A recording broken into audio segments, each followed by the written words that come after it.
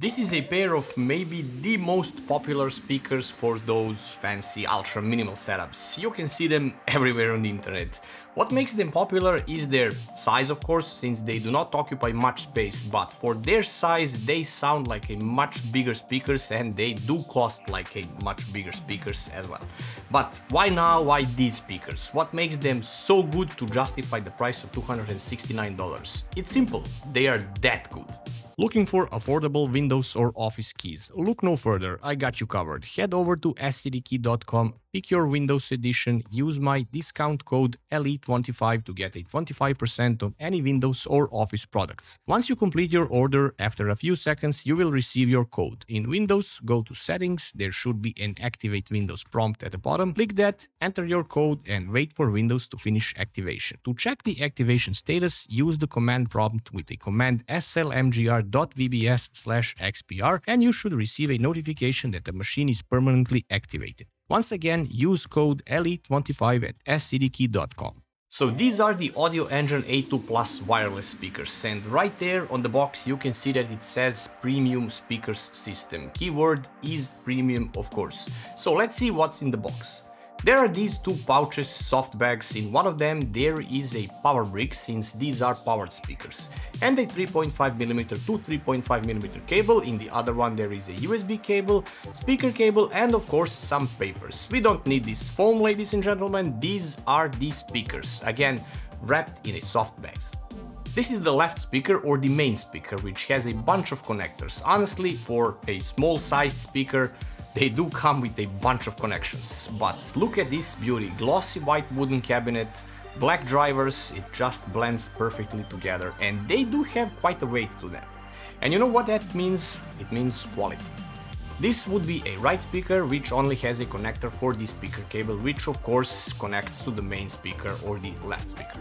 Just to clarify the size of these, 152mm high, 102 wide and 133mm deep, so quite a small pair of speakers but they are weighing 1.6 kilos for the left one and 1.4 kilos for the right one. The best way to describe them is small but mighty, since they are 60 watts in total. Class AB amplifier delivers 30 watts to each speaker with 2.75 Aramid fiber woofer and 0.75 inch dome tweeter. It is incredible how much power they can output being this small and on top of it they come with a bunch of connectivity options at the rear side. All the ports are on the left or the main speaker. I don't know why they are on the left since it's more convenient to be on the right side, but I guess they had their reasons. Also they chose to hide the volume knob on the back as well, so it leaves the front clean on both speakers. Anyway, you have two RCA or Cinch input jacks and two outputs, so you can route a cable to a subwoofer. You have a classic 3.5mm analog input jack and on top of that there is a micro USB input as well. And on top of it all they are equipped with Qualcomm QCC3031-3034 aptX wireless audio as well. There are also Hi-Fi banana jacks output to the right speaker and of course the power brick connector connections. On the right speaker there are only the banana terminals for the connection to the main speaker. Honestly, these are more than plenty connectivity options, but in return this makes them literally plug and play for any device and operating system as well. So if you're in a Windows or a Mac, simply plug them in and they will be immediately recognized and will not require any drivers to work since they have a built-in 16-bit 48 kHz DAC, so use the USB cable for that. If you hate cables, no worries, Bluetooth 5.0 connectivity is there as well with aptX support for high quality wireless sound transmission and it also supports AAC and SBC codecs beside the aptX. They are capable of delivering sound from 65 all the way up to 20,000 Hz and for that take a listen how they sound if that can be at all properly captured with a microphone, but I will make sure to explain this after you hear them.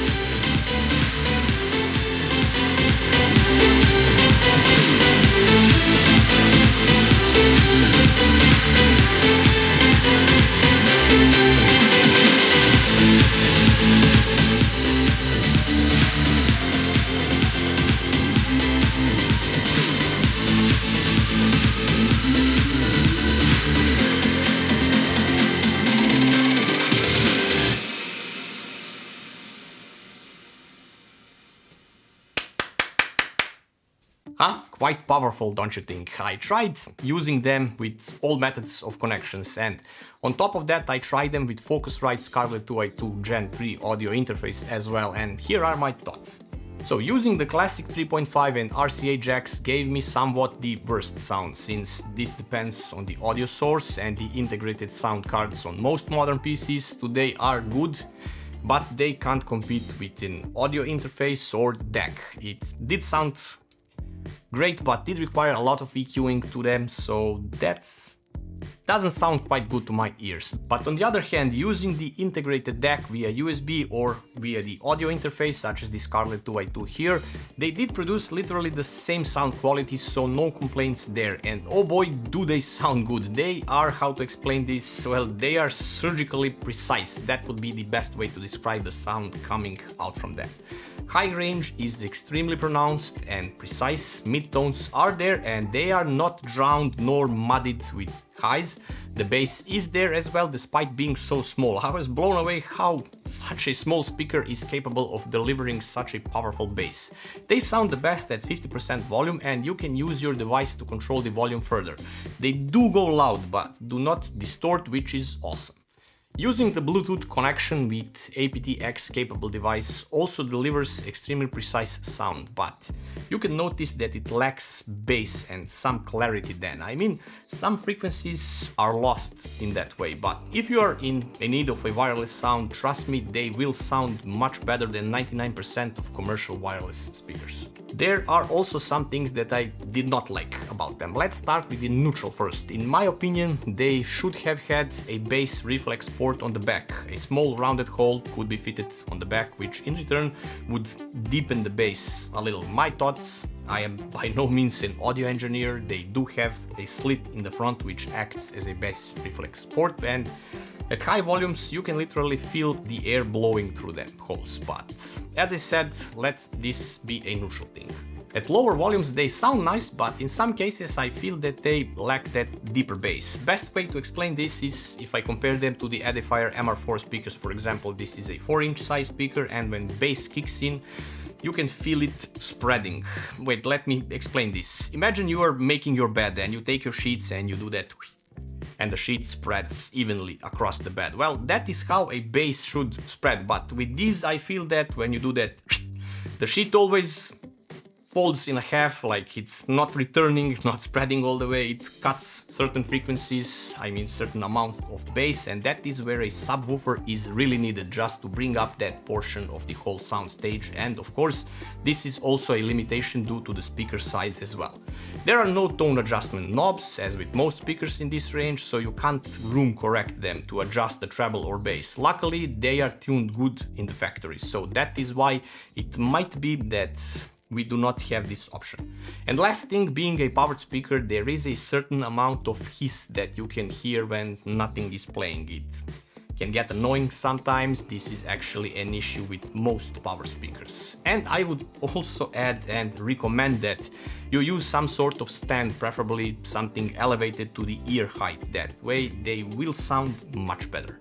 Anyhow, why now and why these speakers. As I said in the beginning, it's simple. They are extremely good and precise. That is why the price is $269 and trust me, you get a lot in return for that money if you have a setup that is limited with space but you do not want to sacrifice on sound quality, this is the best option then. Beautiful handcrafted design, timeless looks, compact, will fit in any modern desk setup but the quality is way above their size. If I compare them with the Edifier MR4 which I use as my main speakers, I must say that they are equal, even surpassing them with sound quality, even though these are twice as big, I mean the MR4s are twice as big. So yeah, these are really small but extremely mighty speakers. Here's a cool thing also, Audioengine will be also releasing a new product soon. This is a new D1P DAC which can be used as a headphone amplifier but also as a DAC for your speakers. It features USB for both power or as an input from your phone or a tablet, 3.5mm headphone jack, optical input at the back and a line-out RCA jack for your speakers as well. On the front there is a switch so you can switch from headphones to RCA line out as well. It's a pretty convenient device and above all this is a 32-bit 384 kHz capable DAC, sporting Sabre SA9312 ES9219C chips. So this paired with an audio engine speakers and you will have a pretty powerful and high quality sound experience. So thanks for watching guys, let me know what you think about audio engine speakers, good or overrated. Also sub to the channel, like and share the video and I'll see you in the next one.